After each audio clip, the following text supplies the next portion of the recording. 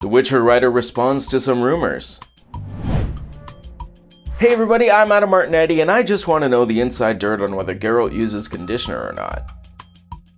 With Henry Cavill leaving The Witcher at the end of Season 3 and Liam Hemsworth taking over the role moving forward, fans of The Witcher are understandably concerned about the direction the show is going in, as well as with some of the writing they've already seen on screen. A large part of the rumors surrounding Cavill's decision to leave the show is that the writing wasn't sticking as faithfully to the source material of novels by Andrei Sapkowski as it could have been. However, with Henry Cavill not speaking publicly about his choice, it's entirely rumors and speculation.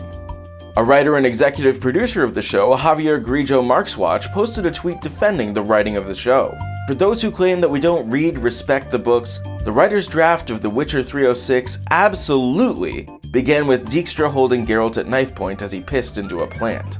I have the pages to prove it, and when discussing Cavill's exit from the show, he said, Also, those of us who know what really went down behind the scenes know what really went down behind the scenes.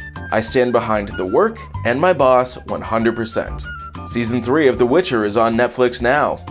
I'm Adam Martinetti, and don't forget to head over to Collider.com for all your movie news, trailers, and reviews. Thanks for watching, and we'll catch you later.